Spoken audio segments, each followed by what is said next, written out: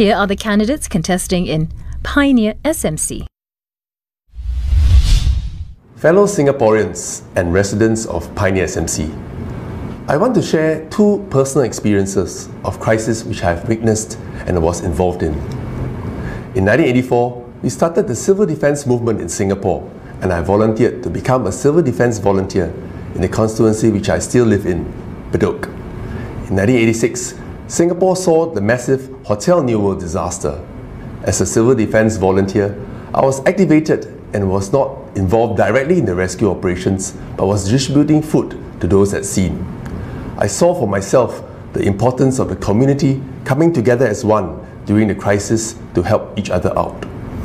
In 2003, while working in NTUC, I witnessed the SARS outbreak. I was administering the NTUC Surrogate Employer Program, where we helped thousands of fellow Singaporeans in affected industries and sectors to undergo skills training and upgrading. When the economy recovered, many of them returned to their work with new certifications and new knowledge. I share these two personal stories because we are facing a greater crisis this time around. But I believe we can overcome this mountain of challenge, just like how we have overcome the SARS outbreak as well as the Hotel New World disaster. In my local manifesto, distributed to all our Pioneer residents, I outlined my commitment to our residents in the areas of care, connect, and create. In it, I flesh out my plans to walk the journey with everyone as one pioneer together.